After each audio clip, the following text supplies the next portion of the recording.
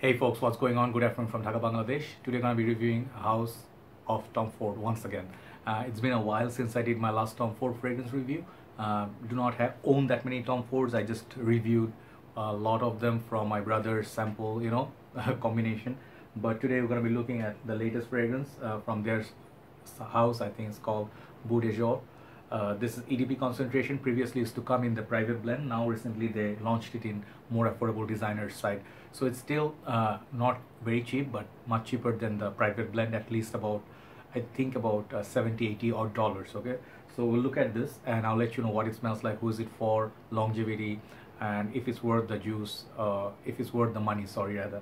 So today, first of all, my scent of the morning was. It's actually evening. I'm still rocking it Guerlain's Vetiver EDT. I wanted this for a very long time. I did review the EDP. Did not, I was not very big fan of it as far as I remember, but uh, this EDT one actually it's pretty awesome. I'll review this next. Uh, this is Guerlain is actually growing on me a lot. Second thing is my uh, after lunch. It's about uh, two almost 2 p.m. I'm going with green tea, double bag with honey and a lot of lemon so trying to uh, stay you know uh, healthy feeling much better than yesterday. So yep no more cold stuff never. So let's hit the review. So this is big thanks to one of my brothers and dr Jafferi Bhai, he is you know he, he like contributed a lot to this channel and to you guys by you know lending me his bottles. This is one of them and he does buy a lot of amazing fragrances. So here's the box it looks simplistic white but it has some lines that the light is not picking up.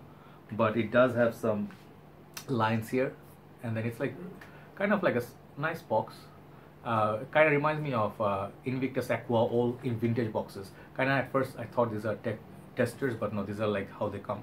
So EDP concentration 100 ml and this is Tom Ford Beau so the bottle here I think it has a combination of two bottles okay uh, I think I did review both of them. One was Grey Vetiver, I used to own it, the EDP, uh, as well as the Ombre Leather, I reviewed it also. So this is the bottle. You must have seen this uh, already. Really classy. I saw the ad of it. The guy looks kind of weird, but it does go with the perfume bottle.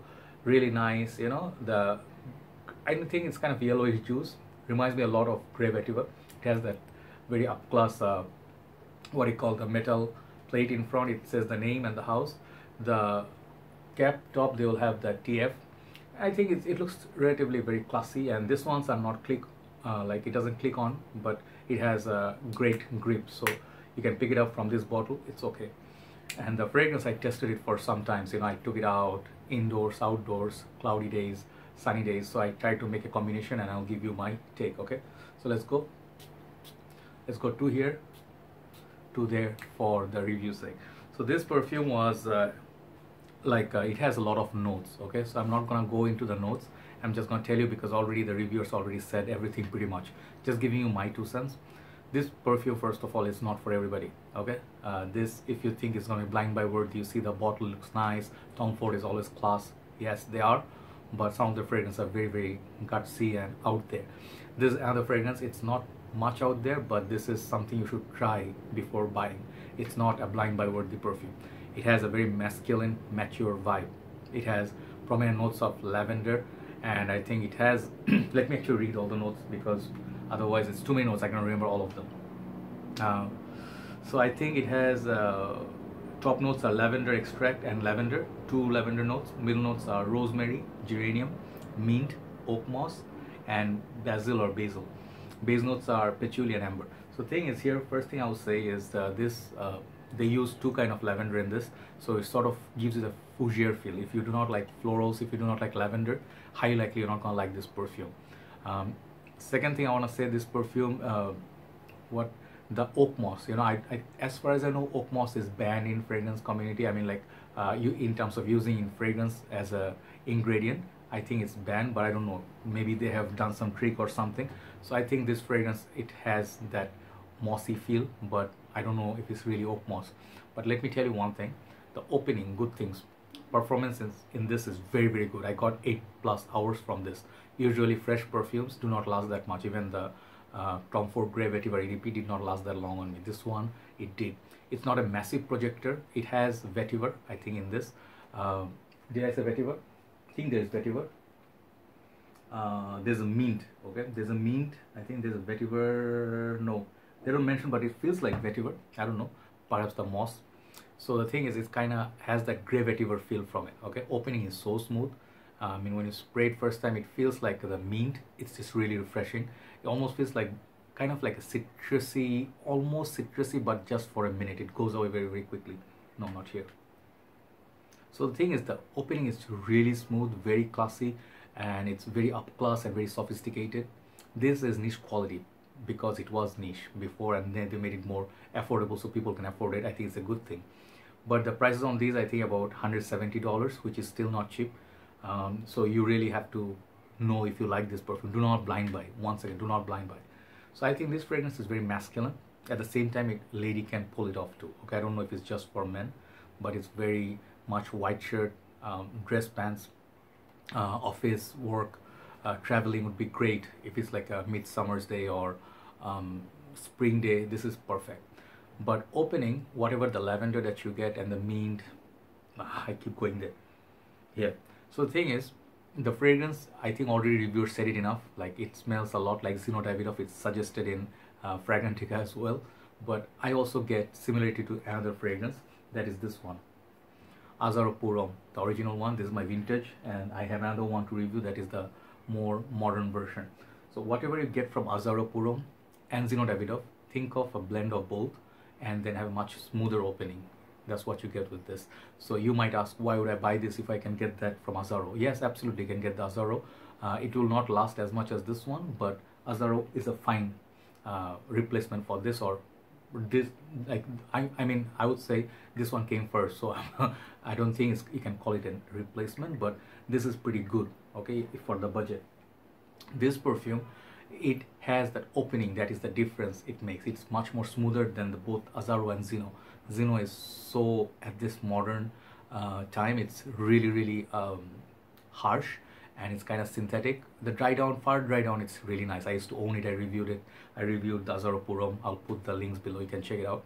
But if you love those fragrances, this is an upgrade. This is a niche version of those.